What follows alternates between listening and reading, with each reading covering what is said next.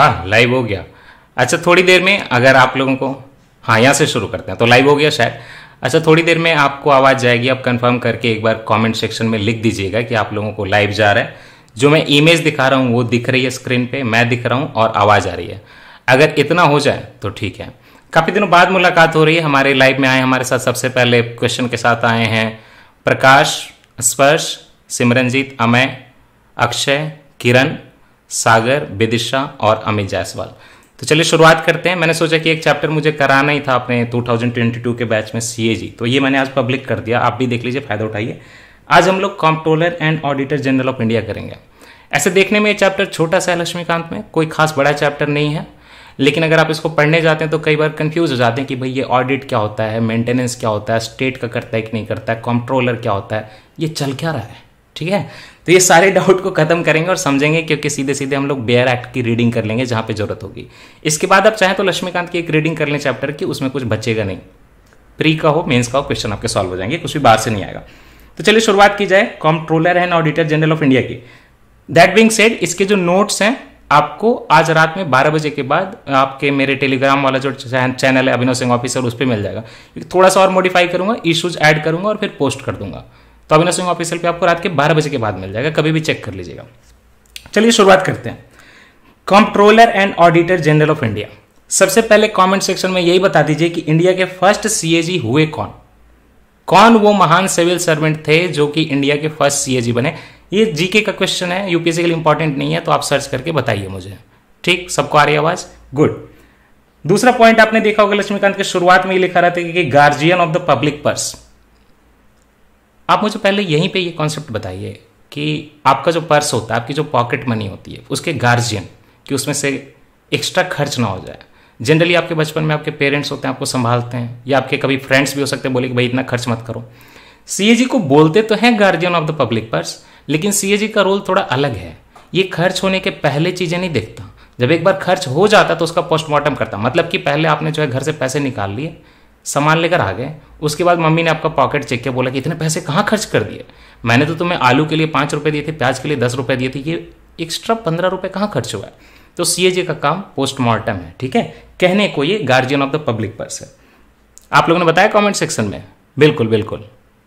बिल्कुल, नरहरी जी थे गुड तो चलिए, सबसे पहले सीएजी की इंपॉर्टेंस कैसे पता चलती है कि कॉन्स्टिट्यूएंट असेंबली में बी आर अंबेडकर ने ड्राफ्टिंग कमेटी के head B R Ambedkar father of the Indian constitution इन्होंने कहा कि C A G is the most important office under constitution most important office under constitution can you underestimate sorry can you मतलब estimate the depth of it when Ambedkar is saying that C A G is the most important office under the constitution see this is not calling it under the government of India or under the state government. Under the constitution. That means कि we are comparing only with the constitutional bodies. So इसके अलावा और कौन तीन से होते हैं constitutional body जो बहुत इंपॉर्टेंट माने जाते हैं? एक हो जाएगा आपका इलेक्शन कमीशन एक हो जाएगा यूपीएससी एक खुद का सुप्रीम कोर्ट है और फिर सी ही उसमें अंबेडकर ने बोला कि ये तो भाई मोस्ट इंपॉर्टेंट है। ठीक? अब सी के लिए हमें सीधे सीधे यहाँ पे पहले आर्टिकल देखना पड़ेगा, तभी हम किसी चीज़ को समझेंगे। इस पार्टिकुलर पार्ट जो कॉन्स्टिट्यूशन है, उसमें चले जाइए जब आप चैप्टर फाइव को खोलेंगे तो आपको हेडिंग सीधे सीधे मिलेगी डेडिकेटेड चैप्टर है controller and auditor general of India पे। इनके लिए आर्टिकल है, जो कॉमनली आपके स्टेट पीएससी वगैरह में पूछ देते हैं कि सीएजी से रिलेटेड कौन सा आर्टिकल है। तो 148 आप याद रखें 148 आर्टिकल है। Please start places in news अरे प्रकाश, रुकोगे नहीं तो मैं स्पैम करके मैं वो सीसीए से भी निकाल दूँगा, यहाँ से भी निकाल दूँगा। मुझे पता है ना कब क्या करना है, आप चिंता मत करो। आपकी पीटी थ्री सिक्सटी फाइव वगैरह तो अभी आई भी नहीं है, मार्च के लास्ट में आ रही है। इतना परेशान क्यों हो रहा है? पढ़ाने दिए लो यार वन फोर्टी एट हो सकता है यहाँ से क्वेश्चन आ जाए और जो मांग रहे हो वहाँ से एक भी नहीं आया। Controller and auditor general of India CAG so इसका फ़र्स्ट क्लॉज पहले देखेंगे second clause is not important तो 148 का सबसे पहले फ़र्स्ट क्लॉज देखेंगे। द कॉन्स्टिट्यूशन ओनली सेज कि there shall be a C A G of India who shall be appointed by the president by warrant under his hand and seal तो जिन लोगों को पहले नहीं पता है, लोग पूछते हैं कि warrant and under his hand and seal क्या होता है और नॉर्मल अपॉइंटमेंट क्या होता है। जब प्रेसिडेंट खुद से पेपर पे साइन करेंगे कि सीएजी जो होंगे विनोद राय होंगे, या किसी और को बोला, नरहरी जी होंगे, खुद से जब साइन किया, खुद से जब उनका स्टाम्प लग गया नीचे तो उसको बोलते हैं warrant under hand and seal. जब ये फ़ंक्शन किसी को वो डेलीगेट कर देंगे किसी ऑफिसर को तो वो warrant under his hand and seal होगा, नहीं होगा। आपके घर जो लेटर आता है, कई बार पीएमओ वगैरह से होता है तो खुद साइन नहीं करते, राइट? ऑफिसर अपॉइंटेड होते हैं। जब प्रेसिडेंट का खुद का साइन हो जाए, खुद के हाथ से तो warrant under his hand and seal हो गया। ये बस बताता है, ये पार्टिकुलर पोजीशन आपकी जो है ऑफिशियल की या सुप्रीम कोर्ट की चीफ जस्टिस की, जिसकी भी बोले गवर्नर की। तो ये जो आपकी पोजीशन है, ये बहुत हायर रैंक की पोजीशन है, आपकी इंपॉर्टेंस बहुत ज़्यादा है। आप प्रेसिडेंट से डायरेक्टली कनेक्टेड हो। तो इसलिए ये याद रखिएगा warrant under his hand and seal लेकिन देख के खुश मत होइए। सिचुएशन इतनी भी आइडियल नहीं है। सीएजी का काम बहुत इंपॉर्टेंट है। लेकिन फ्रीडम इतनी भी ज़्यादा नहीं है जितना अभी आप सोच रहे होंगे, भाई warrant under his hand and seal शुरू हो गया। गवर्नर का भी है warrant under his hand and seal but governor is on the pleasure of the president any time governor उनको, गवर्नर को रिमूव कर सकते हैं president though in not in the case of C AG see once appointed is not on the pleasure of the president वो अपना term complete करेंगे। आप नहीं रोक सकते। हाँ आप इम्पीचमेंट कर दीजिए, दूसरी बात है। Shall only be remove from office in like manner and on the ground as the जज ऑफ़ द सुप्रीम कोर्ट तो C A G can be remove from the office it is written in the constitution separate provision is not given simply said that कि जैसे आप जज of the supreme court को हटाते हैं, उसी तरह से आप सीएजी को हटा सकते हैं। दैट मीन्स कि जज of the Supreme Court high court वो भी तो बराबर होते हैं। क्योंकि उन दोनों को भी हटाने का तरीका सेम होता है। तो हम कह सकते हैं कि हाई कोर्ट और सुप्रीम कोर्ट के जजेस की जो रिमूवल की प्रोसेस है, वही रिमूवल की प्रोसेस सीएजी के केस में भी फॉलो होती है। और जजेज की रिमूवल की प्रोसेस क्या है? अगर आपको किसी जज का रिमूवल करवाना है तो अगर आप इसके लिए प्रपोजल ला रहे हैं राज्यसभा में तो 50 मेंबर का साइन चाहिए। और अगर लोकसभा में रह रहे हैं तो बड़ी चीज़ है, लोकसभा में ज़्यादा नंबर्स हैं तो 100 मेंबर का साइन चाहिए। इतने मेंबर का साइन करवा के आप लाइए। जो ग्राउंड्स होते हैं, वो होता है प्रूवेन मिसबिहेवियर और इनकेपेसिटी दो ग्राउंड में इंस्टेंट है ओनली प्रूवेन मिसबिहेवियर और दूसरा क्या है? इनकेपेसिटी ये जो प्रूवेन मिसबिहेवियर उसमें करप्शन वगैरह की चीज़ें डाल लीजिए आप आराम से। इनकेपेसिटी मतलब कोई भी मेंटल या फ़िज़िकल इन्फर्मिटी है, जिससे कि अपना रोल पूरा नहीं कर सकते, वो गलत है उस पद के लिए तो फिर उस केस में भी। दैट बिंग सेड जजेज की रिमूवल हो या सीएजी की रिमूवल हो, उसको टेक्निकली हम लोग इम्पीचमेंट नहीं कहते हैं। Impeachment is only use for the president उसके बाद क्या होता है? उसके बाद इन्वेस्टिगेशन चलती है, जिस हाउस में ये एक्सेप्ट हुआ। उसके बाद जो चेयरमैन या presiding officer depending on the Lok Sabha and Rajya Sabha that person will accept it और रिजेक्ट इट जैसे वेंकैया नायडू ने थोड़े दिनों पहले जो है रिजेक्ट कर दिया था वो प्रपोजल जबकि कांग्रेस के 50 लोग जो मिलजुल के राज्यसभा में प्रपोजल लेकर आए थे, लेकिन रिजेक्ट कर दिया। तो रिजेक्ट और accept after that there will be investigation investigation के लिए एक कमेटी बनती है। उसके बाद फिर जो है, अगर कमेटी ने बोल दिया कि हाँ प्रूवन मिसबिहेवियर या इनकेपेसिटी है, तब फिर रिमूवल के लिए आपको वहाँ पे स्पेशल मेजोरिटी चाहिए। जो कॉन्स्टिट्यूशनल अमेंडमेंट के लिए चाहती, चाहिए होती है। Two third of the present and voting and overall जितना मेंबरशिप है, उसका मेजोरिटी दैट मीन्स की फिफ्टी परसेंट प्लस वन इतना कुछ करेंगे, तब जाके आप सुप्रीम कोर्ट के जजेस को या फिर सीएजी को हटा सकते हैं। वेरी गुड ग्राउंड तो आप हटाना तो आसान नहीं है। Warrant under his hand and seal तो है। एक बार साइन करके बना दिया तो प्लेजर ऑफ़ द प्रेसिडेंट नहीं है कि गवर्नर के जैसा जब मन तब हटा देंगे। तो इतनी हमें अंडरस्टैंडिंग होगी।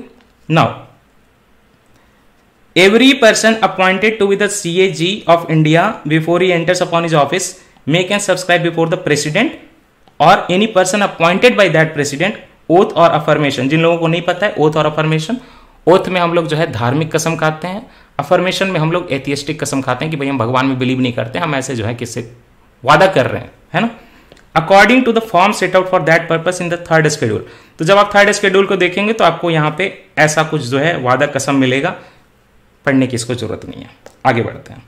Now come to the clause number three very interesting clause number three says that salary सब कुछ ठीक तो आ रहा है। Things I am writing is not visible oh my god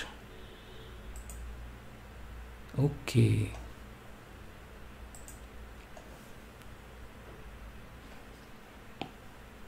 नहीं इट्स विजिबल आई थिंक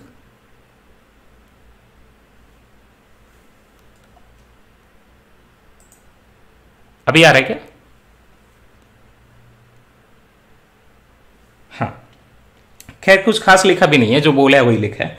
तो चलिए, अब हम जो है इनके हाँ थर्ड क्लास पे देख रहे हैं। आर्टिकल 148 का ही we are going to see the third clause आ रहे ना हाईलाइटर अब आया क्या? अच्छा मूवमेंट से होगा, फिर चला गया था बीच में।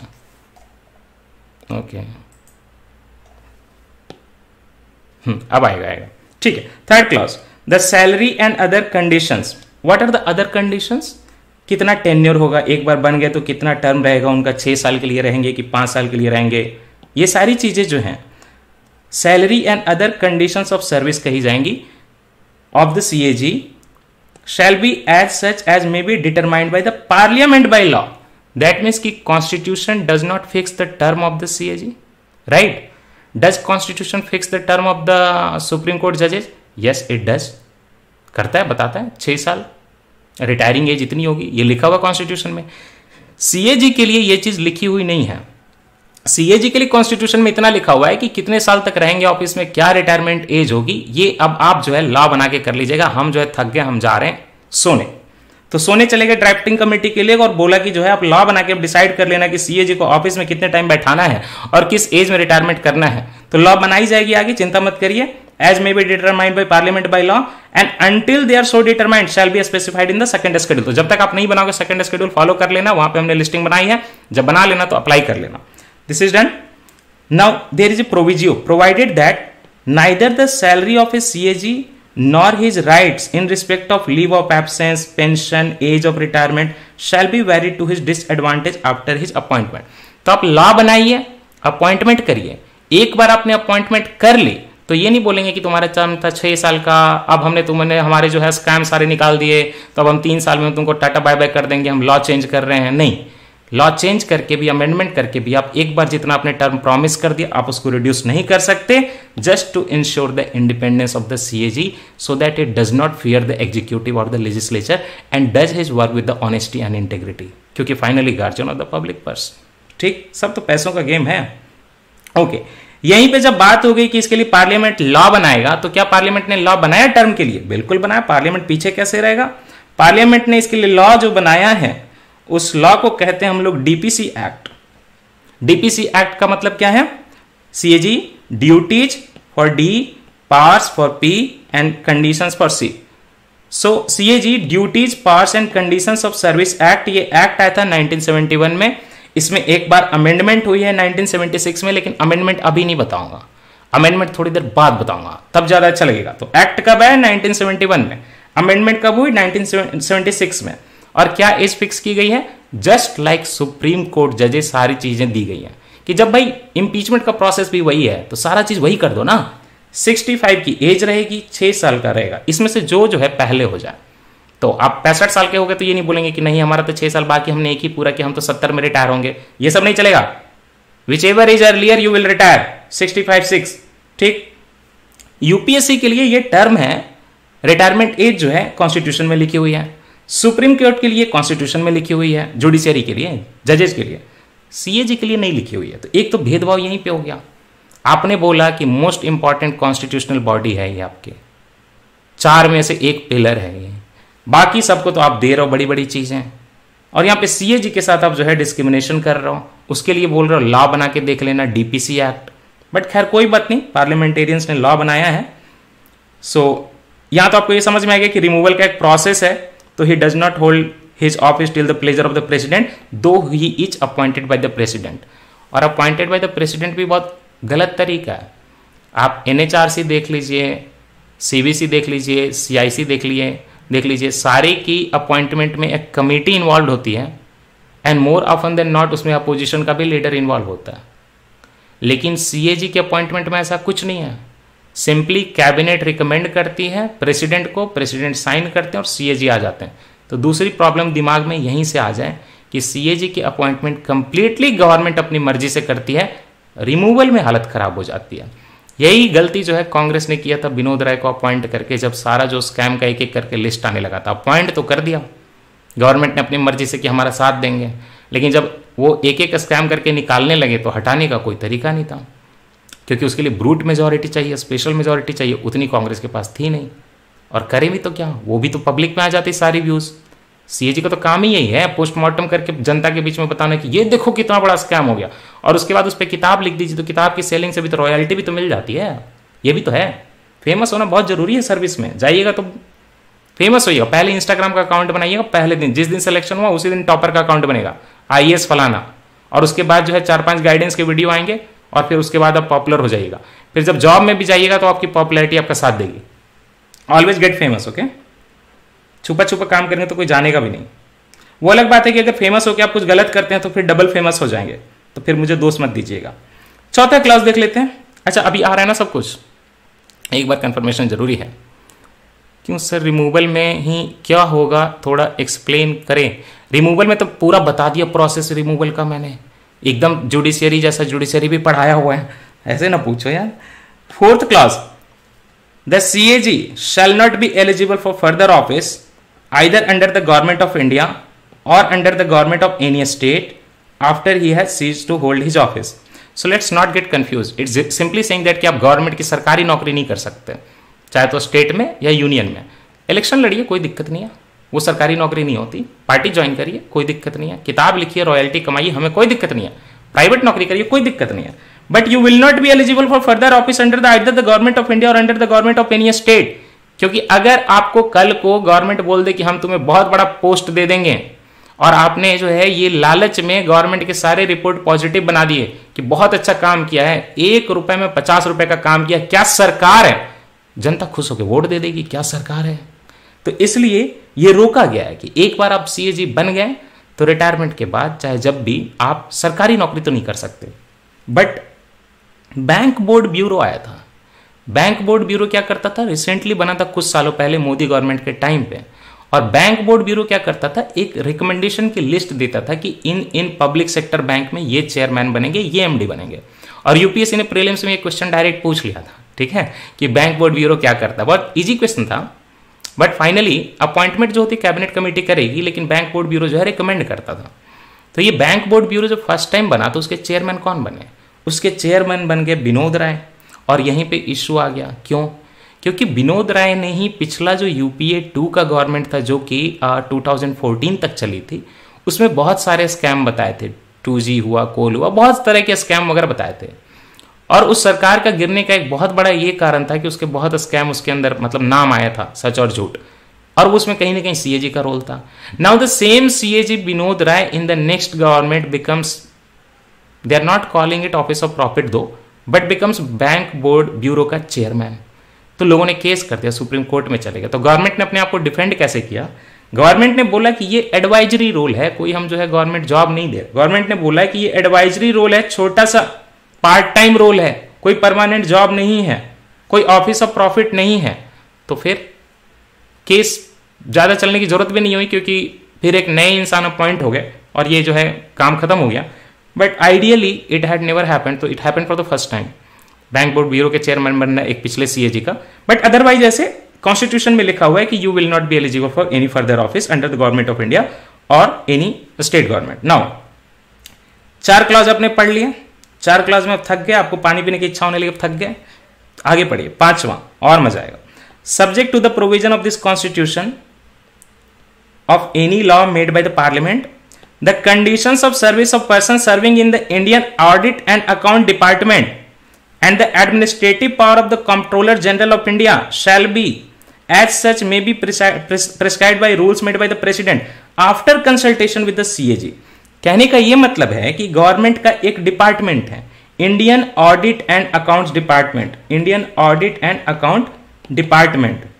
Indian audit and account services आपने सुना है? यूपीएससी के फॉर्म में पोस्ट में देख लीजिएगा लिस्ट में रहता है। यहीं से रिक्रूटमेंट होती है यूपीएससी से। तो Indian audit and account services जो है आई करके तो उसका जो डिपार्टमेंट है, उसमें जब भी किसी की बहाली होगी, उसके जो एडमिनिस्ट्रेटिव पावर होंगे, क्या होंगे, नहीं होंगे, ये सारी बातें आप देख रहे हैं। Condition of service condition of person serving in Indian audit and accounts department और administrative power of the CAG regarding this आपका audit and accounts department this will be determined by the president but only after consultation with the CAG तो ये CAG का role हुआ कि नहीं हुआ? CAG बताएँगे कि Indian audits and accounts department में क्या कंडीशन ऑफ़ सर्विस होगी और सीएजी बताएँगे कि उनके एडमिनिस्ट्रेटिव पावर वहाँ पे क्या होंगे। फिर प्रेसिडेंट जो है उसके हिसाब से रूल बना के चीज़ों को बाहर पब्लिक में ला देंगे। समझ गए ना? याद रखिएगा इंडियन ऑडिट्स एंड अकाउंट का जो सर्विसेज़ होता है, उसके कोई मिनिस्ट्री के अंदर नहीं होता। वो पूरे को सीएजी अकेले हेड करते हैं ताकि इंडिपेंडेंट रहें और ये एक बहुत बड़ी चीज़ होती है। There is no minister so उसमें कैसे कैसे चीज़ें चलेंगी प्रेसिडेंट रूल्स बताएँगे।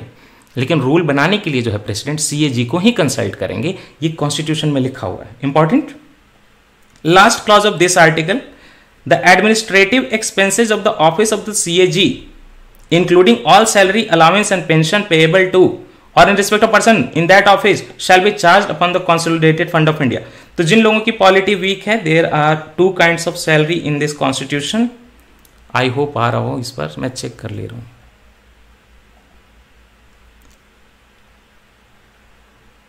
अरे हाँ तो सही लिख लो। अरे विनोद और विनोद में क्या रखा है इतना? उस एग्ज़ाम में चिंता मत करिए। अब कंफर्म कर लीजिएगा, विनोद है कि विनोद है से एक बार। बट खैर इससे फ़र्क नहीं पड़ता इतना। अच्छा। हम देख रहे थे क्या? एक होता है आपकी salary charge on the consolidated fund of India और एक होता है नॉर्मल सैलरी चार्ज में क्या है? Charge on consolidated fund of India पे हम लोग वोटिंग नहीं करेंगे। एनुअल बजट आता है। बजट में सारे खर्चे बताए जाते हैं। तो उसमें यह भी तो बताया जाता है कि ये कॉन्स्टिट्यूशनल पोस्ट सीएजी को कितना पैसा जाएगा उनके डिपार्टमेंट के लोगों को कितना पैसा जाएगा। तो बजट पे वोटिंग होती है। फाइनेंशियल स्टेटमेंट पे वोटिंग होती है ना फाइनली तब जाके बजट बनता है। अगर उस वोटिंग के टाइम पे हम सीएजी की सैलरी की भी वोटिंग करा दें तो वो गलत हो जाएगा, क्योंकि सी की salary charge on the consolidated fund of India that means कि इसको अलग से रखा जाता है। और फिर पास करा दिया जाता है। इसका एक सेपरेट अकाउंट बनाया जाता है, बनाया जाता है और उसको पास करा दिया जाता है। इसी चीज़ को charge on the consolidated fund of India बोलते हैं। और जो मोस्टली आपकी इंपॉर्टेंट कॉन्स्टिट्यूशनल पोस्ट है, उनकी इंडिपेंडेंस मेंटेन करने के लिए बजट के टाइम पे उस पर हम लोग वोटिंग नहीं कराते कि उसको पैसा देना है कि नहीं देना है। लॉ बना के फिक्स कर लीजिए कितना देना है। उसके बाद उस पर वोटिंग नहीं होगी बजट के टाइम पे। कोई कटौती नहीं होगी। तो ये याद रखना है कि सीएजी का भी जो है एक्सपेंस वगैरह charge on the consolidated fund of India administrative expense भी इसमें इंक्लूडेड है। ये आपके आर्टिकल 148 तक हो गए, है ना? नाउ 149 में हम लोग जो है इनके duties and power of the CAG देखेंगे। The controller and auditor general shall perform such duties and exercises and power in relation to accounts of the union and the state देख रहे हैं?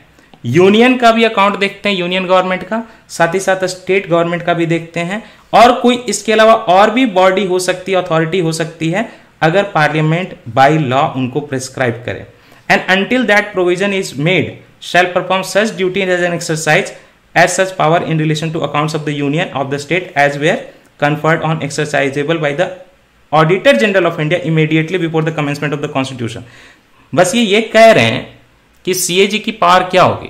तो घुमा फिरा के इतना मिला जुला के जो सारी बातें उसके लास्ट में ये कह रहे हैं कि जब तक पार्लियामेंट नहीं बताती कि क्या क्या पावर होंगी, तब तक सीएजी की पावर वही होंगी जो कमेंसमेंट ऑफ़ द कॉन्स्टिट्यूशन के पहले ऑडिटर जनरल ऑफ़ इंडिया की थी। डोमिनियन था ना? डोमिनियन ऑफ़ इंडिया थोड़े टाइम के लिए। इंडिया ने थोड़े टाइम के लिए डोमिनियन स्टेटस चूज़ किया था। उस टाइम पे जो ऑडिटर जनरल के पावर थे, वही सीएजी के पावर होंगे जब तक पार्लियामेंट कोई और ला बना के बता न दे कि क्या क्या पावर होंगे। ठीक है? तो सीएजी के अच्छा पहले ऑडिटर जनरल होता था, वही पोस्ट ऑफ़ सीएजी है। बिफोर इंडिपेंडेंस एजी बोलते थे राइट तो ये याद रखना है। ओके चलिए, अब जो है हम सीएजी के ड्यूटीज़ एंड पावर्स को डिटेल में देख रहे हैं। तो इसके लिए कहाँ पे हमने पार्लियामेंट ने क्या लॉ बनाया? वही डीपीसी एक्ट बनाया 1971 का। तो यहाँ पे उनकी एज वगैरह सब कुछ दी हुई है। अब जो है हम लोग फ़ंक्शंस देखते हैं। फ़ंक्शंस में सबसे पहला तो ये है कि सीएजी मेनली किस चीज़ को ऑडिट करते हैं? छह अकाउंट मेनली होते हैं गवर्नमेंट से रिलेटेड यूनियन गवर्नमेंट का कंसोलिडेटेड फंड ऑफ़ इंडिया सारे स्टेट गवर्नमेंट के कंसोलिडेटेड फंड ऑफ़ स्टेट्स उसके बाद आ जाएगा पब्लिक अकाउंट ऑफ़ इंडिया उसी तरह आ जाएगा स्टेट गवर्नमेंट्स का पब्लिक अकाउंट ऑफ़ स्टेट्स और लास्ट में आएगी एक चीज़ कंटिजेंसी फंड ऑफ़ इंडिया और similarly contingency fund of states तो इस तरह छह तरह के तो ये अकाउंट हो गए गवर्नमेंट वाले। उसके अलावा पीएसयू कॉर्पोरेशन का भी टॉपिक आएगा, उसको आगे देखेंगे। तो he audits expenditure from the consolidated fund of India consolidated fund of states, public account of india, public account of state, contingency fund of india and contingency fund of states. तो ये पक्का आपको याद रखना है। So many people might be confuse watch it consolidated fund of India ये सरकार का कोष है ट्रेजरी है, जो पैसा मेनली आता है, यहीं पे आता है। इसके अलावा जो थोड़ा बहुत बच जाता है स्मॉल सेविंग वगैरह का, वो पब्लिक अकाउंट में जाता है। तो कहाँ से पैसा आता है इसमें? गवर्नमेंट जो टैक्स कलेक्ट करती है, वो सीएफआई में जाता है कंसोलिडेटेड फंड ऑफ़ इंडिया में। गवर्नमेंट ने कहीं से लोन वगैरह लिया है। आरबीआई जो मेनली कई बार आपने न्यूज़ में सुना होगा वेज एंड मीन्स अलावेंस जो आरबीआई देती है कई बार गवर्नमेंट को वेज एंड मीन्स एडवांसेस ये पैसा भी यहीं जाता है। गवर्नमेंट ने किसी को लोन दिया था रिकवरी हुई है तो वो पैसा यहीं पे जाएगा।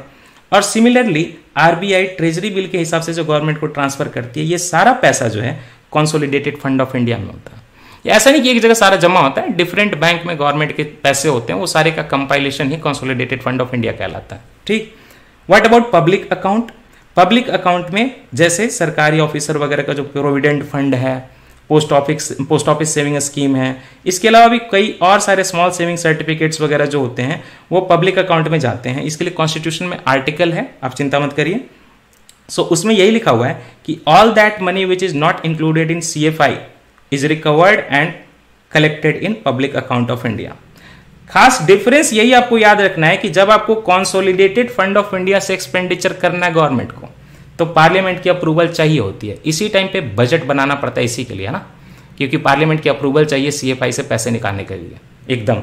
आप चार्ज निकालें या नॉर्मल निकालें, लेकिन आपको अप्रूवल चाहिए। तो कंसोलिडेटेड फंड ऑफ़ इंडिया से अगर एक्सपेंडिचर करना है तो पार्लियामेंट्री अप्रूवल चाहिए। लेकिन अगर आपको पब्लिक अकाउंट ऑफ़ इंडिया से एक्सपेंडिचर करना है तो पार्लियामेंट्री अप्रूवल नहीं चाहिए। इसको आर्टिकल इसका जब तक देखेंगे नहीं, तब तक मज़ा आएगा नहीं तो हम लोग सबसे पहले है यहाँ पे आर्टिकल देखेंगे। ये नीचे है, एक मिनट हाँ।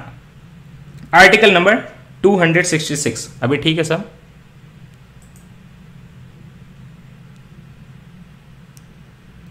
हाँ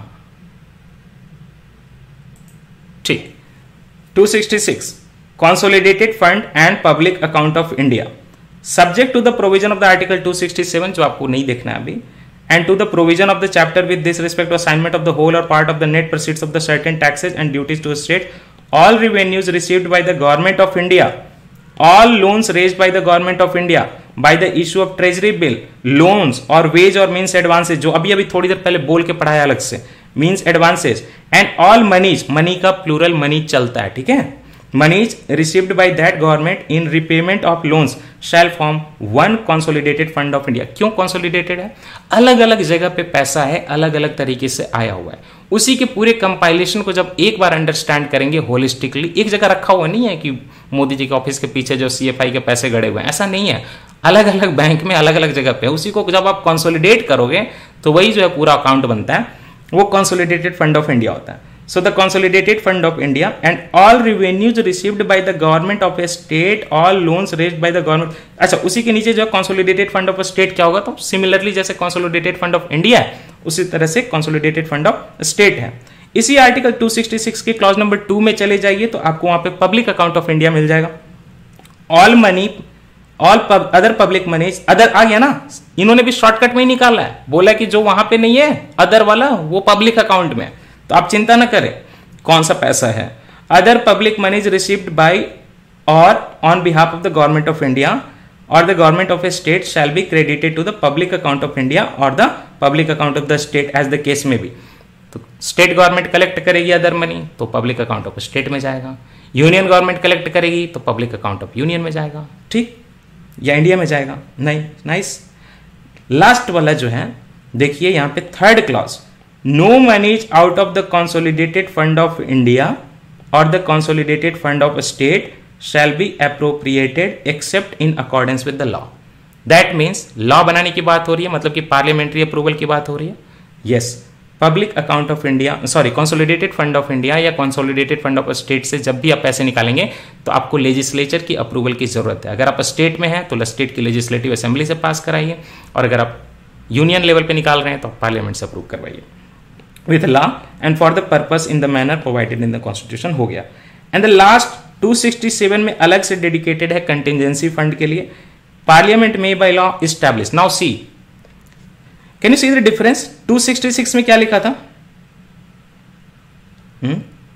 Subject to the provision and to फलान रिकन जो भी है with respect to assignment or whole partners all revenues 266 में सीधे सीधे बोला है कि आपका कंसोलिडेटेड फंड ऑफ़ इंडिया और पब्लिक अकाउंट वाला, ये आपके दो अकाउंट होंगे राइट right? लेकिन कंटिजेंसी फंड के लिए ये नहीं बोला है कि बाय डिफ़ॉल्ट कॉन्स्टिट्यूशन क्रिएट कर रहा कंटिजेंसी फंड के लिए बस आपको इतना लिखा है कि पार्लियामेंट में by law establish a contingency fund in the nature of an imprest to be entitled contingency fund of India बोला कि नाम दे दे रहे हैं हम आपको कंटिजेंसी फंड ऑफ़ इंडिया बनाना है कि नहीं बनाना है? आपकी मर्ज़ी है, आप देख लेना। ठीक? छोड़ दिया। क्यों? क्योंकि नींद आ रही थी उनको ना। ठीक। Contingency fund of India into which shall be paid from time to time थोड़ा मोड़ा पैसा। जैसे कंटिजेंसी फंड क्या होता है? आकस्मिक पैसा। है ना? घर में कई बार होते हैं? आप देखते हैं ना कि पैसे कभी कभी खत्म हो जाते हैं।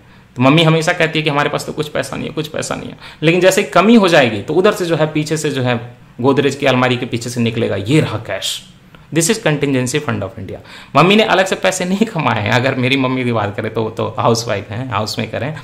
लेकिन पापा के ही जो है पैसे थोड़े थोड़े थोड़े थोड़े बचा के जमा कर लिए अब ज़रूरत पे वो जो है निकालती हैं, ऐसे नहीं दिखाती।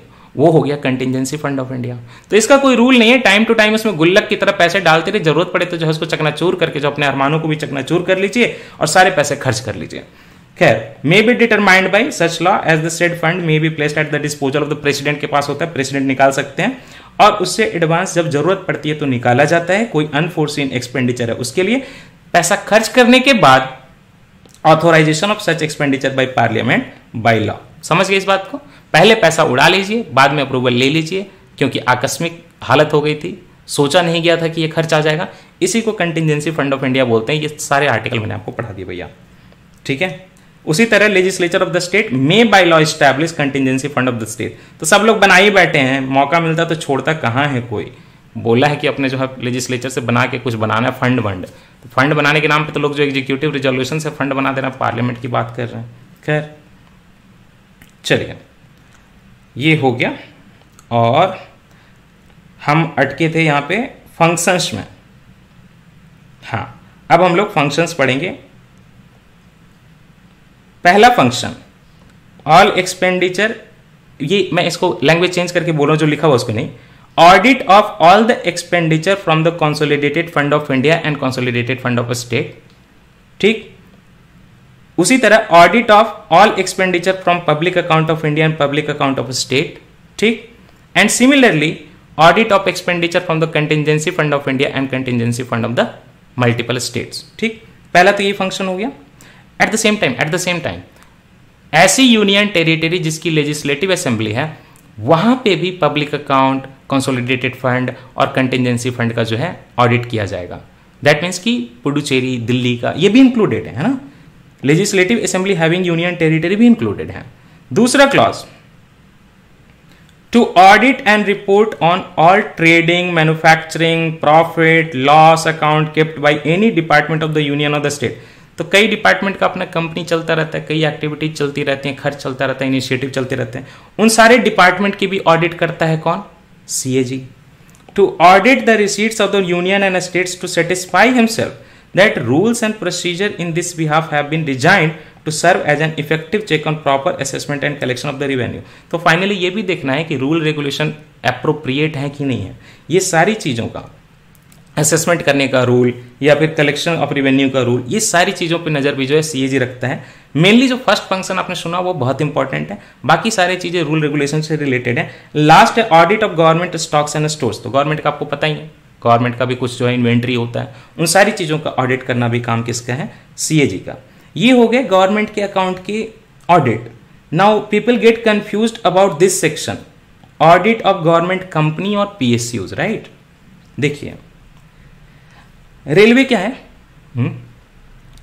रेलवे कंप्लीटली एक मिनिस्ट्री है राइट रेल मिनिस्ट्री है। लेकिन रेलवे का बिज़नेस भी है। तो रेलवे का ऑडिट कौन करेगा? बाय डिफ़ॉल्ट अगर गवर्नमेंट का खुद का डिपार्टमेंट ही मिनिस्ट्री ही पब्लिक सेक्टर एंटरप्राइज या कोई गवर्नमेंट कंपनी बन बैठा है अगर ऐसा केस है तो बाय डिफ़ॉल्ट सीएजी उसका ऑडिट करेगा। ठीक? अब उसके अलावा अगर कोई डिपार्ट डिपार्टमेंट सीधा कंपनी नहीं बनी है रेलवे बहुत अलग सा केस है राइट रेलवे में जब आप जॉब करते हैं तो आप पीएसयू में नहीं माने जाते। आप जो सीधे सीधे भारत सरकार के जो है जॉब करने वाले माने जाते हैं। उस तरह के पोस्ट बने हुए वहाँ पे। तो रेलवे वगैरह जैसी जो चीज़ आ गई तो वहाँ पे याद रखिएगा कि सी सीधे आपकी सीएजी ऑडिट करेगी और कोई ऑडिट नहीं करेगा। Now apart from that two condition arise PSU के लिए।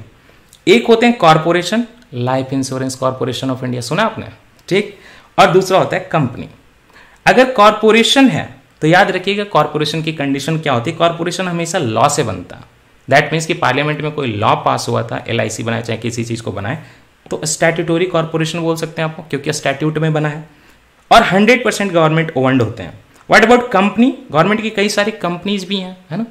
बेल वेल लेके पता नहीं, तेल पता नहीं कितनी कंपनी बना रखी है, आधी लॉस में ही रहती है। वहाँ का रूल ये है कि गवर्नमेंट का 51 परसेंट स्टेक होना चाहिए, उससे ज़्यादा होना चाहिए। 100 परसेंट भी हो सकता है, कोई दिक्कत नहीं। लेकिन कम भी जा सकता है, गवर्नमेंट बार बार उसको जो है, अब देखते हैं आजकल गवर्नमेंट जो अपना शेयर बेचती रहती है कि ले लो ले लो, पैसा आएगा, है ना? बड़ी खुशी से बेच भी रहे हैं, उसके लिए जो है, डीपम करके जो है डिपार्टमेंट बना दिया मिनिस्ट्री ऑफ़ फाइनेंस में बात कर रहे हैं बेचने के लिए। जो हंड्रेड था उसको फिफ्टी वन कर देंगे। तो कंपनी में कम से कम फिफ्टी वन परसेंट का स्टेक होना चाहिए। लेकिन अगर कॉरपोरेशन है तो that will be made by law and hundred percent it will be government owned for sure अब चलिए, पहले कॉरपोरेशन का कैसे होता है वो देख लेते हैं ऑडिट उसके बाद कंपनी पे चलेंगे। ठीक?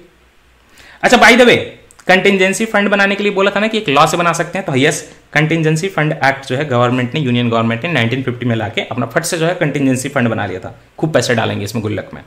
अच्छा। So if you have a corporation talking about the government of India एक बार फिर से चेक कर लो चीज़ें।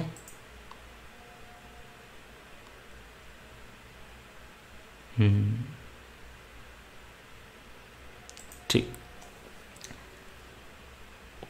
it takes form of ministry and department for example railway तो कंप्लीटली सीएजी करेगा, ठीक है? सीएजी करेगा रेलवे मिनिस्ट्री का जैसे होता है रेलवे कंपनी का पूरा जो खर्चा वर्चा, उसका ऑडिट सीएजी करेगा। अदरवाइज़ जो इस लॉ से वो कॉरपोरेशन बना था ना, जैसे बोला ना कि स्टैट्यूटोरी कॉरपोरेशन होगा, क्योंकि कॉरपोरेशन अगर है तो उसका ये रूल है कि उसके पीछे एक लॉ होगी। तो जिस लॉ से कॉरपोरेशन बना था उसी लॉ में मेंशन रहेगा कि हमारा ऑडिट कौन करेगा, ठीक? तो उससे जो कंडीशन बनती है, तीन तरह की कंडीशन बनती है उन डिफरेंट लॉज के कारण जिसके अंदर कॉरपोरेशन बने होते हैं।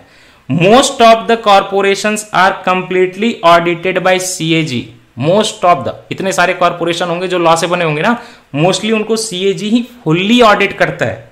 कुछ कॉरपोरेशन को सीएजी पार्शियली ऑडिट करता है, एक लिमिट तक। बाकी प्राइवेट जो है उसके साथ इन्वॉल्व की जाती है पार्टी या थर्ड पार्टी अच्छा कुछ ऐसे हैं जिनमें सीएजी को ऑडिट से बाहर रखा गया। एक्सक्लूड कि CAG can not audit and this one only you have to remember Laxmikanth में सबके तीनों के एग्जांपल देके कंफ्यूज किया है। आरबीआई एसबीआई एफसीआई एलआईसी ठीक है? ये सारे में reserve bank of India state bank of India food corporation of India और life insurance corporation of India ये सारे जो यहाँ पे बन रहे हैं एंटिटी चार, इसमें सीएजी ऑडिट नहीं करती है। इनके पीछे जो लॉ है उसमें मेंशन किया हुआ है कि सीएजी विल नॉट ऑडिट ठीक? इसलिए। Okay what about the companies जहाँ पे गवर्नमेंट का मिनिमम 51 परसेंट स्टेक होना था।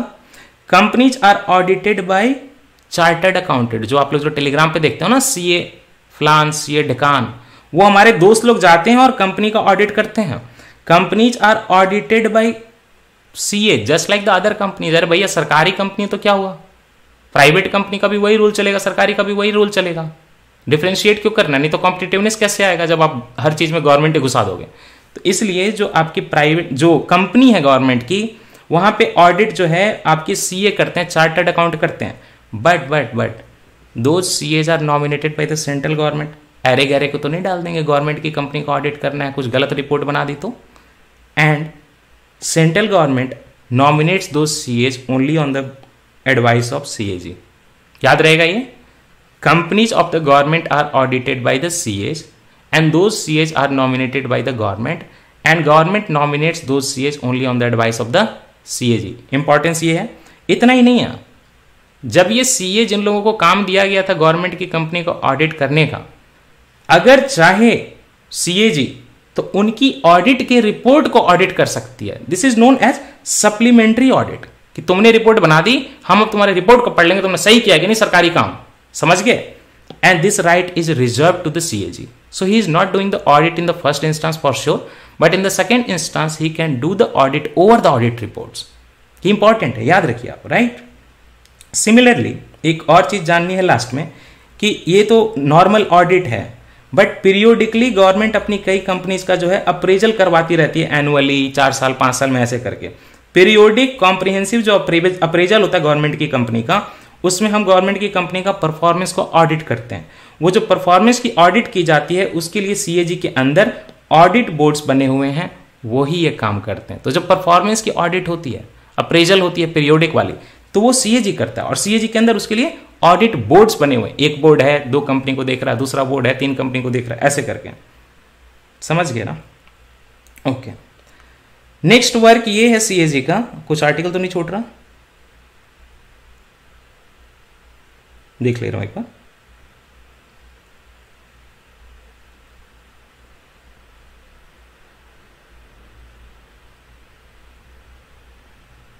चलिए, पहले मैं आपको आर्टिकल 150 पढ़ा देता हूँ, उसके बाद नेक्स्ट चीज़ पढ़ा रहा हूँ। 150 form of accounts of the union and of the states the accounts of the union and the state shall be kept in such form as the president may on the advice of the CAG prescribe you are getting this point अब मैंने ये जो lecture बना रहा हूँ तो इसमें मैंने एक फॉर्म सेट किया है कि मैं इसमें अपना कैमरा से जो अपनी इमेज दिखाऊँगा वीडियो दिखाऊँगा, ऊपर जो है माई एस कॉरिडोर का लोगो लगाऊँगा वॉइस के लिए मैं माइक यूज़ करूँगा कैमरा यहाँ रखूँगा और मैं स्क्रीन पे ये चीज़ दिखाऊँगा। तो this is a form right form वो भरने वाला नहीं। एक उसका स्ट्रक्चर है राइट उसी तरह ऑडिट का जो रिपोर्ट होता है, कुछ भी ऑडिट होता है तो फाइनली या मेंटेनेंस ऑफ़ रिकॉर्ड होता है कि हमें कितना कितना रेवेन्यू आ रहा है, उसको मेंटेन करने का भी तो तरीका होगा ना, क्योंकि फाइनली किसी को ऑडिट करना है तो उसका कन्वीनियंस भी देखना पड़ेगा कि चीज़ें मेंटेन कैसे की जाए। इसीलिए आर्टिकल 150 ये बोलता है कि जब आपका अकाउंट मेंटेन होगा, किसका? यूनियन गवर्नमेंट का, या स्टेट गवर्नमेंट का तो कैसे मेंटेन होगा, ये प्रेसिडेंट डिटरमाइन करेंगे। दैट मीन्स कि गवर्नमेंट ऑफ़ इंडिया डिटरमाइन करेगी। लेकिन only on the recommendation of CAG बहुत आसान लॉजिकल है। फाइनली सीएजी को इवेल्युएट करनी है चीज़ें, बाद में जब खर्च हो जाएगा। तो जो अकाउंट मेंटेन करना है, अगर सीएजी पहले से ही बता दे कि आप ऐसे मेंटेन करिए ताकि लास्ट में जो है उसका स्टडी करें, हम लोग तो हमें आसानी होगी। सही बात है ना? नहीं तो कोई लिख जो जो है उसमें फारसी में लिख दे पर्शियन में लिख दे। और सी जो है अपना शेर का पता पर्सियन में लिख दिया, खर्चा कितना लिख दिया? एक की जगह पर ऐसे घुमा के लिखा, आठ की तरह हम कंफ्यूज हो रहे हैं। और बाद में बोले सरकार की, नहीं, हम तो हिंदी में लिखे थे, हमारा खर्चा तो बहुत कम हुआ है, तुम तो इंग्लिश में पढ़ लिए। और जहाँ कन्फ्यूज़न हो, जहाँ ज़्यादा खर्चा दिख रहा है वहाँ पे बोले कि, नहीं, हम तो इस लैंग्वेज में लिखे थे। तब तो फंस जाएगा मैटर तो इसीलिए यूनियन की या स्टेट की जो अकाउंट का मेंटेनेंस होता है तो वो किस तरीके से होगा, ये प्रेसिडेंट डिटरमाइन करते हैं on the basis of recommendation of the CAG. Now, did you notice the very interesting thing? State government कैसे अकाउंट मेंटेन करेगी ये भी प्रेसिडेंट ही डिटरमाइन कर रहे हैं। This goes against federal structure yes and based on the CAG recommendation देख रहे हैं प्रेसिडेंट में बोथ यूनियन एंड स्टेट के लिए। और फाइनली जब ऑडिट की रिपोर्ट आती है तो आपको पता है ना सीएजी उस चीज़ को जो ऑडिट की रिपोर्ट को कहाँ डालता है? प्रेसिडेंट के पास भेजता है। और प्रेसिडेंट कहाँ करते हैं? उसको पेश लोकसभा, राज्यसभा में करते हैं। और अगर स्टेट गवर्नमेंट का है तो कहाँ जाता है? ऑडिट का रिपोर्ट गवर्नर को जाता है। गवर्नर उसको कहाँ पेश करते हैं? लेजिस्लेचर ऑफ़ द स्टेट में करते हैं। अगर लेजिस्लेटिव असेंबली है तो खाली लेजिस्लेटिव असेंबली में जाएगा, दोनों है तो दोनों में जाएगा, काउंसिल में भी जाएगा। उसके बाद सब उसको देख के तालियाँ बजाते हैं। बहुत अच्छा बात। इस बात से खुश होके सीएजी को पब्लिक अकाउंट कमेटी का फ्रेंड फिलोसफर कहा जाता है। हैंड होल्डर गाइड बताओ हमें क्या खर्चा हुआ, दिखाओ हमें ताकि हमें समझे, क्योंकि पार्लियामेंटेरियन को तो कुछ समझ में आ नहीं रहा। लेकिन सी तो मेनली जो होता है आई ऑफिसर होता, इतना बड़ा कैडर उतने सारे ऑफिसर तो वह समझाएगा, देखो खर्चा कम हुआ कि ज़्यादा हुआ। तो इसीलिए सीएजी को friend philosopher guide of the public account committee कहा जाता है। पब्लिक अकाउंट कमेटी यही करती है, सारी चीज़ों की स्क्रूटनी करती है पोस्टमार्टम करती है। अपोजिशन का लीडर उसका जो है चेयरमैन होता है। अपोजिशन का लीडर नहीं सॉरी अपोजिशन का मेंबर राइट गवर्नमेंट की साइड से नहीं होगा। प्राइवेट मेंबर नहीं होगा। अच्छा ऑडिट रिपोर्ट्स हो गए। हाँ ये भी हो गया। चलिए नीचे और फ़ंक्शन के नीचे कंपनी वाला भी हो गया।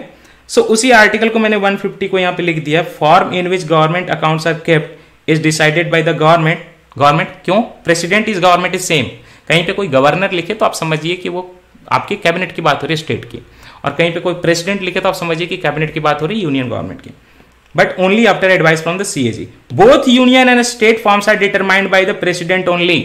Remember that. लिखा हुआ आर्टिकल में ओके फॉर्म ऑफ़ अकाउंट हो गया ऑडिट रिपोर्ट हो गया फाइनली एक आर्टिकल इंटरेस्टिंग है, मैंने यहाँ पे डाला है 279 आपको पता है कि जीएसटी हो, चाहे रेवेन्यू हो, कुछ भी हो लास्ट में सेंट्रल गवर्नमेंट उसको डिवॉल्व करती है स्टेट्स के लिए अच्छा कल को मान लीजिए कि सेंट्रल गवर्नमेंट बेईमानी कर ले और फाइनली नेट कलेक्शन क्या होता है?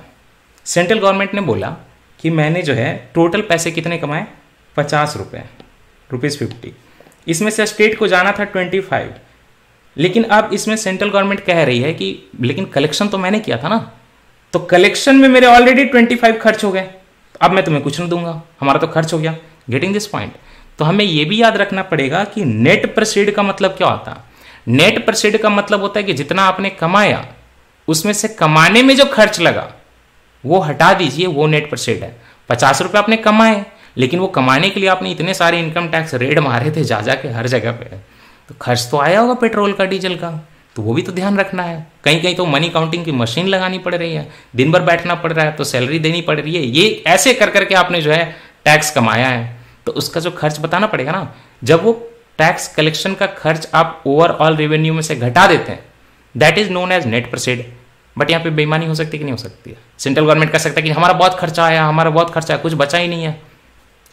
That's is why net proceed पे सर्टिफिकेट जो बनता है कि सही है कि गलत है, ये सीएजी करता है। कॉन्स्टिट्यूशनल बॉडी पावरफुल बॉडी ये आर्टिकल 279 में लिखा हुआ है।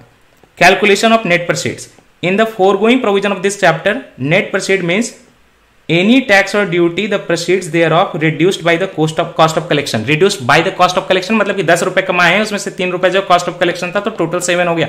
ये होता net proceed and for the purpose of this provision the net proceed cut गया क्या? रुकिए। एक सेकंड 279 पिक्चर ले रहा था ना क्रॉप और नेक्स्ट पेज में आ गया होगा। हम्म। हाँ for the purpose of the proceeds of any tax or duty or any part or tax of duty is attributable any area shall be certified by the C A G whose certificate shall be final तो इसके आगे ये लिखा हुआ है कि इसमें जो फाइनली सर्टिफिकेशन आती है कि नेट प्रोसीड कितना है that certification is by C A G and that certification is final उसके आगे जो है सुनवाई नहीं होती। गॉट दिस पॉइंट तो सीएजी का इतना सारा रोल है। Net proceeds to be share between union and states that is certified by the C also C जो है फाइनेंस कमीशन को भी हेल्प करता है कि फाइनली आप जब डिवोल्यूशन वगैरह करेंगे तो स्टेट गवर्नमेंट किसी का फाइनेंस कैसा कैसा चल रहा है, चाहे वो फोर्टीन फाइनेंस कमीशन या फिफ्टीन फाइनेंस कमीशन हो, उसको भी थोड़ी बहुत हेल्प सीएजी करता है कि इस स्टेट गवर्नमेंट को इतना देना चाहिए, इतना नहीं देना चाहिए, है ना एलोकेशन वगैरह। अब मेन जो आपके मन में क्वेश्चन था कि जो मैंने बोला था कि अमेंडमेंट आपको एक बाद में बताऊँगा 1971 वाले लॉ में जो अमेंडमेंट होता है 1976 में, उसका डिस्कशन करने जा रहे हैं और क्यों अमेंडमेंट किया था ये बताने जा रहे हैं। देख लें एक बार। सब लोग खुश हैं? ठीक। आई विल ट्राई यार। मेरे करना चाहता हूँ बट क्या है कि सस्ती सस्ती चीज़ें चला ली हैं इंगेजमेंट बहुत है। तो आई ट्राई टू बट नहीं हो पा रहा है काफ़ी दिनों से आई नो कोशिश कर रहा हूँ यूट्यूब वगैरह पे आने का। चलिए, कोई बात, उसे हमारा ही लॉस होता है। नए लोग आ नहीं रहे। स्टेट गवर्नमेंट फाइनेंसेस अब अच्छा सॉरी ये ऊपर का लाइन रह गया, बड़ा हो गया था मेजर ठीक। अब मज़ेदार बात है कि we are going to amend this law जिसमें कि सीएजी के सारे फ़ंक्शन लिखे हुए थे। क्यों अमेंड करेंगे, ये बताऊँगा, और उसके बाद क्या सिचुएशन है, ये बताऊँगा। थोड़ा सा कॉन्सेप्चुअल चीज़ है, ध्यान से सुनिएगा स्पैम मत करिएगा। Till 1976 with respect to a states even till now CAG use to maintain accounts for India confuse हो जाएँगे आप इसको सुन के। देखिए, पहले क्या था? 1976 तक ये सिस्टम था कि स्टेट गवर्नमेंट का जो अकाउंट है, वो ऑडिट तो कर ही रही थी सीएजी उस अकाउंट का मेंटेनेंस भी सीएजी कर रही थी। समझ रहे हैं आप? जो कैशियर है, वही ऑडिट भी कर रहा। अकाउंट का फॉर्म मेंटेन करना अलग बात है। अकाउंट में पैसे जो आ रहे हैं, उसको भी मेंटेन कर रही थी सीएजी 1976 तक। और सिमिलरली वो स्टेट गवर्नमेंट के लेवल पे भी कर रही थी कि जो मेंटेनेंस होगा अकाउंट का और जो ऑडिट होगा, दोनों सीएजी के पास पड़ा हुआ था। What do you think this is right or wrong checks and balance कहाँ गया भाई? जो मेंटेन कर रहा वही इवेलुएट कर रहा बाद में। पेपर भी हम ही लिखें इवेल्युएशन भी हम ही करें, तब तो हम फुल मार्क्स देंगे खुद को। तो ये प्रॉब्लम को देखते हुए इस लॉ में 1976 में अमेंडमेंट किया गया। लेकिन वहाँ पे भी इंटरेस्टिंग मज़ेदार बात यह है कि अमेंडमेंट करके सेंट्रल गवर्नमेंट वालों में तो हमने सेपरेट कर दिया और एक नई जो है हमने सर्विस क्रिएट कर दी और यूपीएससी से रिक्रूटमेंट करने लगे। उसका देखेंगे आगे। आई आईसीएएस बोलते हैं उसको। लेकिन ये हमने किया यूनियन गवर्नमेंट के लिए। तो दैट मीन्स कि अब यूनियन गवर्नमेंट के लेवल पे 1976 के अमेंडमेंट के बाद सीएजी अकाउंट मेंटेन नहीं करता ऑडिट करता। बट स्टेट गवर्नमेंट पे कहाँ कहाँ घूमता सरकार, घूमती सरकार लॉ बना के? तो स्टेट गवर्नमेंट को बोला कि स्टेट गवर्नमेंट प्रेसिडेंट से परमिशन ले लीजिए और आप भी चाहे तो सेपरेट कर दीजिए। ये स्टेट गवर्नमेंट के लोग इतने आलसी हैं, या जो बोलिए, उन्होंने बोला कि कोई नहीं, हमारा सीएज ही देखेगा, हमारा सीएज ही बनाएगा, हमें कुछ मेहनत नहीं करनी, आप चुपचाप रहने दो। एक गोवा, एक सिंगल स्टेट है, जिसने बोला कि नहीं, हम सेपरेट करेंगे तो प्रेसिडेंट से परमिशन मांगी, प्रेसिडेंट ने परमिशन दे दी। तो गोवा में सीएजी गवर्नमेंट के अकाउंट का ओनली ऑडिट करता है। बाकी सारे स्टेट में सीएजी गवर्नमेंट के अकाउंट को मेंटेन भी करता ऑडिट भी करता। और सेंट्रल गवर्नमेंट के लेवल पे CAG just like Goa account का बस ऑडिट करता है मेंटेन नहीं करता। तो ना very interesting question who maintains that for that government amended this 1976 law sorry 1971 law in 1976 and with respect to states even till now CAG use to maintain account यही मैंने लिखा है कि अभी भी स्टेट में वही कंडीशन है गोवा को छोड़ के कि सीएजी मेंटेन भी कर रहा है और ऑडिट भी कर रहा है, जो कि बशर्ते गलत बात है बट चल रहा है। यूनियन लेवल पे हमने ये प्रॉब्लम हटा दिया सेपरेट कर दिया। अब अकाउंट मेंटेन कौन करेगा? तो उसके लिए नई बहाली होगी ना, नया सर्विस क्रिएट किया रेलवे वाला आए हैं लोग यूपीएससी का सीट बढ़ गया, बहुत सारा, सबकी पार्टी हो गई है। तो उस टाइम पे भी यही हुआ था, सब लोगों ने पार्टी दी थी एक दूसरे को। क्यों? Now account maintenance given to department तो अकाउंट का मेंटेन कौन करेगा? डिपार्टमेंट मेंटेन करेगा। जिस जिस गवर्नमेंट के डिपार्टमेंट के अंदर चीज़ें हो रही हैं वो अपना अकाउंट खुद मेंटेन करिए। हम सीएजी के लोग आएँगे, उसको ऑडिट कर देंगे। एक बात ये, इस चीज़ को बोला गया डिपार्टमेंटलाइजेशन ऑफ़ अकाउंट्स या कोई लक्ष्मीकांत में भी टर्म मिल जाएगा। क्या? अकाउंट्स का डिपार्टमेंटलाइजेशन सीएजी का सिर पे बोझ कम कर दिया गया। अलग अलग मिनिस्ट्री अपने अपने डिपार्टमेंट के थ्रू अपना अकाउंट मेंटेन कर लेंगी। चेक्स एंड बैलेंस के लिए सीएजी बाद में उसको ऑडिट कर देगा postmortem separate entity very good method but not happening in the states except Goa अच्छा गोवा बाय द वे एक सिंगल स्टेट भी है जहाँ पे यूनिफॉर्म सिविल कोड चल रहा है। हालाँकि वो कंप्लीटली यूनिफॉर्म नहीं है but it is considered as uniform civil code departmentalization of accounts so इसके लिए न्यू सिविल सर्विस क्रिएट की गई। डिपार्टमेंट के लोग कितने एक्सपर्ट होंगे? कितना कर लेंगे? तो इसके लिए एक नई सिविल सर्विस क्रिएट की गई और 1976 में क्रिएट की गई। Indian civil account services UPSC से रिक्रूटमेंट होता जा सकते हैं। ICAS Indian civil account services defence का अलग चलता। ठीक? Indian civil account service create किया गया इसी डिपार्टमेंटलाइजेशन ऑफ़ अकाउंट्स के कारण 1976 में। तो this body will do the maintenance of account and CAG जो पहले से थी, उसका काम आधा हो गया। और वो अब क्या करती है? ऑडिट करती है। बट स्टेट लेवल पे याद रखना स्टेट लेवल पे वही हो रहा है। Okay so integration of all accounts of CGA CGA क्या है आपको बताऊँ? सीजीए है कंट्रोलर जनरल ऑफ़ अकाउंट यही जो आईसीएस सर्विस बनी ना, उसी टाइम पे कंट्रोलर जनरल ऑफ़ अकाउंट भी बने CGA and he is the highest accounting authority of the government of India वो अकाउंटिंग कर रहे हैं. ऑडिटिंग नहीं कर रहे ऑडिटिंग सीएजी करेगा ना? ठीक. तो सीनियर मोस्ट जो आईसीएस यहाँ पे हैं, वो कहलाते हैं controller general of accounts not controller controller general right Goa separated the accounting with auditing other states did not do ये जो डीपीसी एक्ट आई थी ना, जो 1976 में अमेंडमेंट किया गया था उसी में बोला गया था कि अगर किसी स्टेट को मन है कि वो सेपरेट करे तो प्रेसिडेंट से परमिशन लेके कर सकता है but only Goa agreed now there are some issues I will not be dealing with the issues आपको समझ में आ ही गया होगा कि CAG appointed by the president based on the advice of the cabinet unlike NHRC CVC CIC सारे लोगों में कमेटी लगती है अपोजिशन के मेंबर आते हैं। सीएजी को आप सिंपली कैबिनेट से अपॉइंट कर लेते हो, और सीएजी जनरली आईएएस कैडर से होता है। आपको नहीं लगता ये टेक्निकल फ़ील्ड है? नहीं टेक्निकल था तो आपने अकाउंटिंग के लिए अलग से सिविल सर्विसेज़ क्यों बनाई तो जनरली आईएएस से होना चाहिए था Indian audit and account services से। Indian audit and account services को जनरली जो हेड करता है वो सीएजी होता। और सीएजी जो होता है वो क्या होता? आईएएस होता है। मोस्टली ठीक CAG only one person body election commission में भी मल्टीपल लोग हैं, तीन लोग हैं। यूपीएससी में तो पता नहीं कितने लोग हैं। डिफरेंट बॉडी देख लो, आप जुडिशियरी देख लो, वहाँ पे भी कई लोग मल्टीपल लोग हैं। सीआईसी वगैरह में भी यही हाल है। बट सीएजी एक सिंगल पर्सन बॉडी है। उसके वो हेड करता पूरे डिपार्टमेंट को। बट हेड करने से क्या होता है? डिपार्टमेंट में फिर भी जो है पर्सनल जो है बहुत ज़्यादा नहीं है इंडियन अकाउंट्स बॉडी इनके पास टास्क है 250 के अकाउंटिंग करने का। कर पाते हैं साठ के, के आसपास। इसमें और एक दो इश्यूज़ जोड़ के मैं आपको नोट्स दे दूँगा। इतना लेक्चर काफ़ी है आपके लिए। इसके बाहर के क्वेश्चन नहीं आने वाले एक भी मेन से प्री में। और इसमें से जो इन्फॉर्मेशन जो इशूज है, या लक्ष्मीकांत का मान लीजिए कि दो चार पॉइंट मुझे लगा कि यूजफुल है कुछ, ऐसे तो कुछ है नहीं। तो मैं ऐड करके नोट्स आपको दे दूँगा मेरे चैनल पे अभिनव सिंह ऑफिशियल पे, रात के बारह बजे के बाद लेकिन। थोड़ा ऐड करना होगा अरेंज करना होगा। आप उसको डाउनलोड कर लीजिएगा, उसके बाद आपको क्या करना है, लक्ष्मीकांत ओपन नहीं करनी है। एक वर्ड भी वहाँ से नहीं पढ़ना है। बस ये करना, काम हो जाएगा। तो ठीक है, आपसे मिलकर अच्छा लगा और साथ देने के लिए बहुत बहुत शुक्रिया। थैंक यू सो मच दियांग आए हैं सारे लोग आए thank you so much everyone take care bye bye